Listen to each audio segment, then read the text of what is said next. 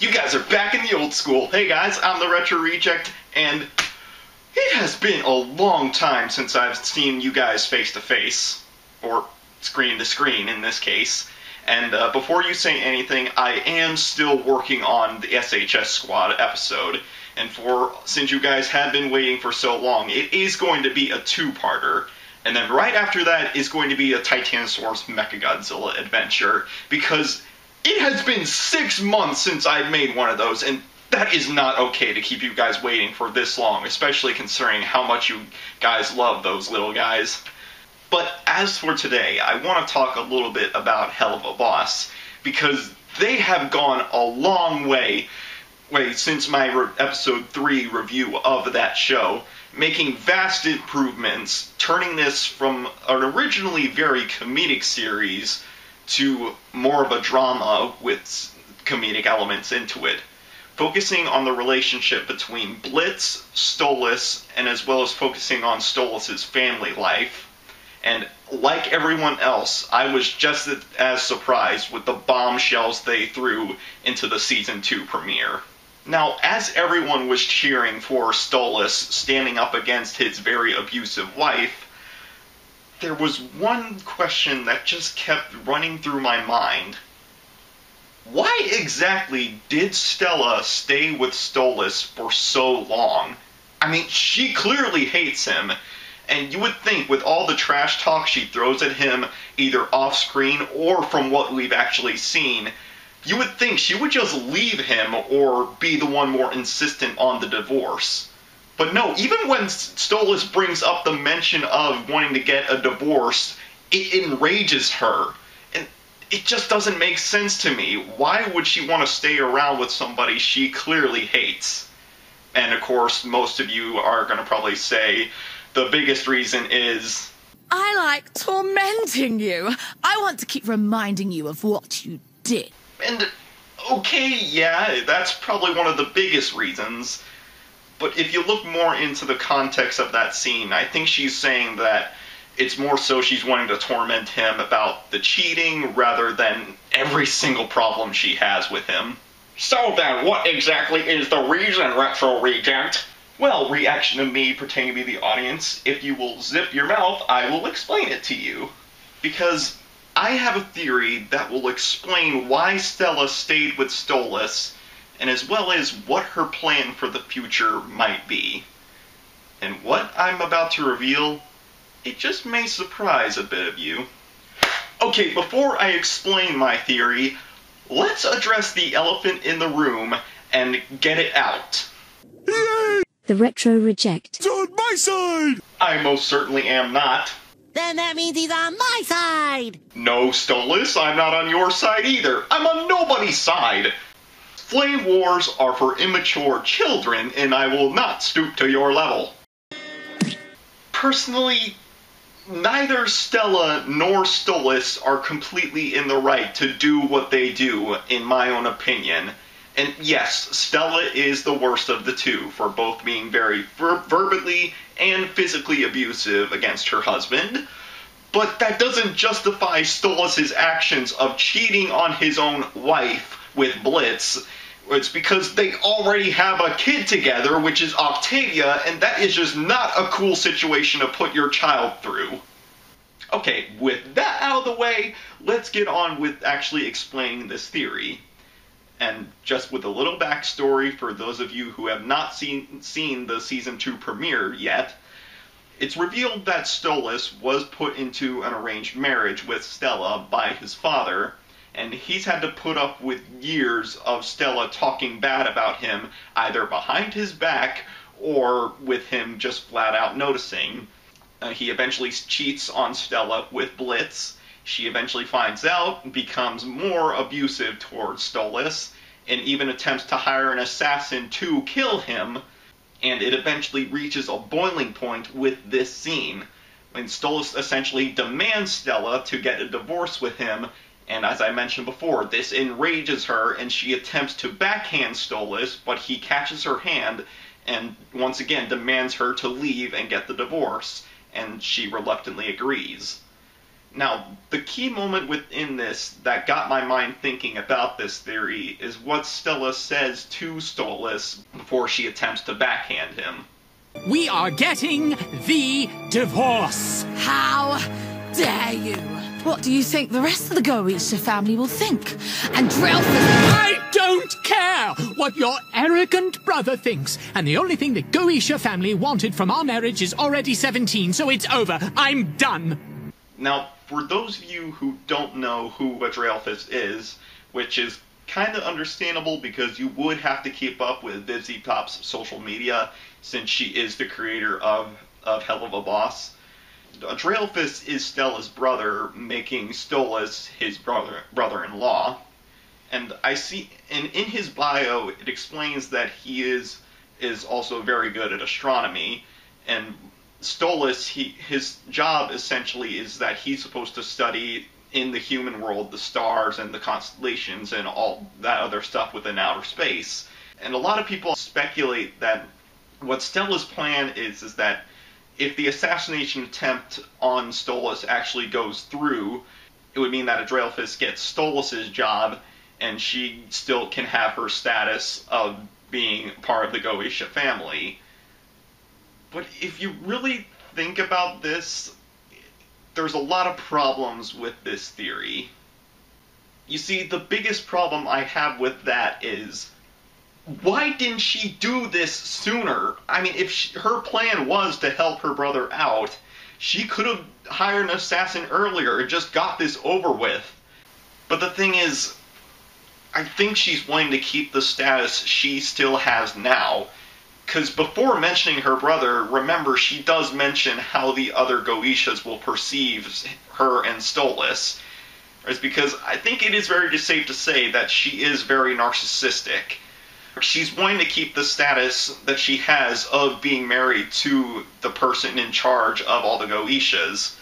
And if Andrealphus becomes the next one in charge, even though she technically is a part of the same family, she's not going to have that same status unless her plan is to marry her brother. But that does not address a very glaring roadblock in that plan, and that is Octavia. And even though I'm not a big expert on how the passing of royalty works, and technically since this takes place in hell, literally anything can go, but I'm pretty sure having an official offspring to the rulers of a kingdom is more valuable to having them take over rather than just have some random in law come in to take over. Now, unless Stella is more evil than we originally thought, which could be possible at this point, I just can't see Stella wanting to kill her own daughter. And even if so, it runs into the same problem as earlier. Why didn't she do this sooner? Because she could have just asked an assassin to kill both both Stolas and Octavia, and the only assassin we know so far is, who is out to get get Stolas is Striker, but he's only out in it for Stolas, not Octavia. So I sincerely don't believe that Stella's plan is to get Andrealphus into Stolas' job title. So I had to take a step back, and it made me consider this. Does Stella consider Andrealphus an ally or a threat? Now, we don't have a lot to go off of because we only have one post that gives just basic details about who he is, and then one name drop through Stella, which is very minimal, and then one line through Stolas saying that he's arrogant, which essentially means that he thinks he's the best thing since sliced bread. So, if we are to believe Stolas' description of Andrealphus, it gives us a glimpse to who he really is. But if you also watch Stella's reaction, it gives us a big hint to how she really feels about her brother. So it's over. I'm done. Fine. I have no desire to stay in the place of a traitorous embarrassment. You have fallen from what little grace you had, and I know you'll pay for it. She doesn't continue the argument. She doesn't even try to defend her brother when Stolas calls him arrogant. And she doesn't even state his name in that ending sequence when telling Stolas that he will pay for what he's done. So I think it implies that Stella thinks Andrealphus is the real threat in this situation. Because even though it doesn't take a lot to set her off, really, she only gets mad when how she is perceived by others is on the line. So you could imagine the field day Andrealphus would have if word got out that both Stella and Stolas had a divorce. He would chatter up a storm with all the other Goetias, making him seem like he's the better person and the better sibling within his own family, and pushing his sister continuously off to the sidelines and making her, her look like the bad person in this situation. And that's what I think speaks volumes to what created Stella to become the person she is now. Now, it seems to me that Stella wasn't always like this, according to Octavia, but we will get to that in a little bit. But if Stella had to grow up in an environment for many years having to constantly deal with her brother's negative comments and criticisms about her, that can get to somebody emotionally. And Stella essentially was like, well, two can play this game. And she adopted her brother's own personality of being arrogant, constantly having to push somebody else down to make her seem like the better person or just the better offspring in her family's mind. And she was already doing this at a very young age, according to the picture that Stolas' father showed Stolas. Congratulations. Isn't she charming? Oh, that's an ugly noise, son. And it kind of also implies that she's just so crazy all the time that that's the only decent picture they could get of her. And just over the many years of adopting this personality, it essentially became her personality like of being this narcissistic person to make and making her seem like she's the better person and now instead of doing it to her brother she's doing it to Stolas. It's essentially her coping mechanism. Despite her being put into this arranged marriage with somebody she is not happy being with and when her brother most likely has more freedoms than her at the moment she gets to constantly boost her image uncontested with the other Goetias, and she gets to do it against a person who didn't have the guts to fight back. Now, there is a bit more evidence that does imply that Stella doesn't have a positive view of her brother, and that is with the not divorced party, which is their version of an anniversary party because considering how much she hates Stolas, and also keep this in mind. She is the one who set all of this up. In the newspaper headline that Stolas reads, it says couples only. And I mean, yeah, it does make sense. I mean, it's an it's supposed to be an anniversary party. You would only bring couples to this kind of event. But it does seem rather odd to me that when you actually see the party, you don't see Andrealphus anywhere, which is kind of odd because you would think on something like an anniversary you would bring a family to this event. Unless putting the couples only on that news headline was Stella's subtle way of making sure Andrealphus didn't show up to this party to constantly belittle her at her own event. And even if Andrealphus was there and he happens to have a wife, it gives even more reason to why Stella would not help out Andrealphus in this kind of circumstance. Because if the assassination attempt pulls through on Stolas, then technically Andrealphus's wife would take the position that Stella has now. And Stella is not the kind of person who would just let that happen. Also, to not mention the fact that what is there to be gained with Andrealphus having Stolas killed? I mean, a more effective method would would be to have somebody kidnap him and hold him for ransom. And I mean, hey, he could have hired those imps in Loo Loo Land to kidnap Stolas because those imps were definitely more focused on having him kidnapped rather than having him killed. Then why is she doing all this and what exactly is her plan? Well, it's very simple and it's quite logical when you really think about it. The reason why she's doing this is for Octavia. And I know some of you may be a little skeptical about this because it doesn't seem that Stella does really care, doesn't really care about Octavia, but hear me out. Because I think to some degree Stella does genuinely care about Octavia. Because the whole reason why Stella and Stolas were put into this arranged marriage was because they needed to create a precautionary heir to the Goetia throne. And they succeeded. And, and that was with Octavia. I mean, if Stella didn't care about Octavia, she could have just left the very moment she was born, or she could have divorced Stolas the very moment it was done.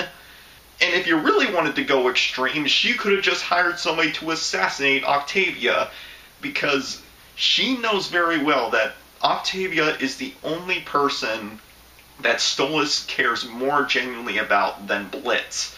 And that would be a heartbreaking thing for him to know that his daughter got assassinated by somebody. But no, she doesn't do that. And according to Octavia, she does remember having happy memories with both her parents, and as well as the fact that she goes with her mother on weekends to escape the palace and remember, this is before the divorce, so she's not being forced to do this. Though we can only take Octavia's experiences with so much of a grain of salt because even though I do believe children are very smart to realize when their parents are not in a happy relationship with one another, if the parents are able to hide it well enough, the child could be completely oblivious to it. And even as much as I love Octavia, I think she falls more into that category. Because even as a teenager, she's completely oblivious to her parents when she's jamming out to the music in her earbuds, when her mom is on the phone with her hired assassin tasked to kill her father. Also, we don't know the full circumstances of the weekend situation because we don't know if Stella is making Octavia leave the palace or if Octavia is wanting to go along with her mother. Uh, but I think it is the latter rather than the former because she has expressed how unhappy she is with her father cheating on her mother with Blitz. And she's just wanting to get away from this whole situation that's transpiring in front of her and Stella is okay with it, with her coming along, because it doesn't seem like Octavia has really any friends to hang out with. But don't be mistaken, she is not doing this to be a loving parent.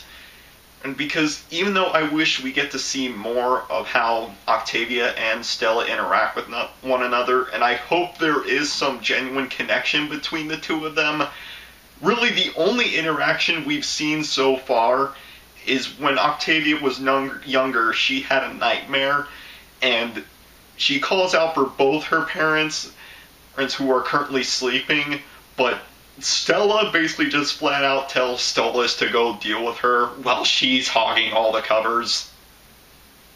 Yeah, so she ain't win- winning any parenting awards there. What I think is really going on here is that Stella is using Octavia and trying to make up for lost time in order to gain her trust. Making it seem like that she's the only good person in this situation to her daughter, and making it seem like that her father is the bad one doing all these crazy shenanigans and wanting to be with Blitz. And she was waiting for Stolas to demand for the divorce because now she can use Stolas' words against Octavia, making it seem like that she was the one who wanted to keep this relationship going, but no, her father is the one who wanted to call this this off. And knowing how Octavia feels about her father, that would just be heartbreaking for her to know that. And the only person she can turn to then is her mother. So if something were to happen to Stolas, Octavia could care less. And in the moment, she's only 17, and it's kind of unclear if she would be able to rule by herself. But if not, she would have to count on her mother's advice with having to rule over the Goetia family. In a sense, Stella would be the one calling the shots and be the sole ruler over her new empire. And what a perfect way to get back at the man you were forced to be in an arranged marriage with. Using their own daughter, who is the only person he had a genuine connection for and is the reason why he stayed in this relationship, and using her against him. And as well as being the perfect payback against your brother, or being the sole ruler because nothing he can say can top that. So that is my theory of why Stella stayed with Stolas for so long, and as well as what I think her plan for the future is. And if she is able to pull this off, it would be the greatest power move within this show. And with what I've said about her backstory, does this remake her a redeemable character?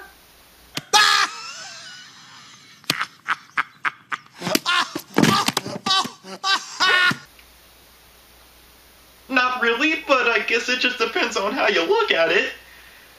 But even though, in my eyes, it may not make her a redeemable a redeemable character, it would mean that she would be a great villain, and as well as a hell of a boss. And I mean, for Pete's sake, I, I mean, I didn't buy a Stella pin for nothing. Anyway, guys, I hope you enjoyed this video, and please let me know what you guys think of my theory, and as well as my own interpretation of Stella's character. Just, just please, please, please, I am begging you, do not start a flame war in the comments. Uh, but anyway, don't forget to like, comment, subscribe, whatever the heck you want to do, and maybe hit that little bell icon to get notified when the old school is back in session. But until next time, The old school is out.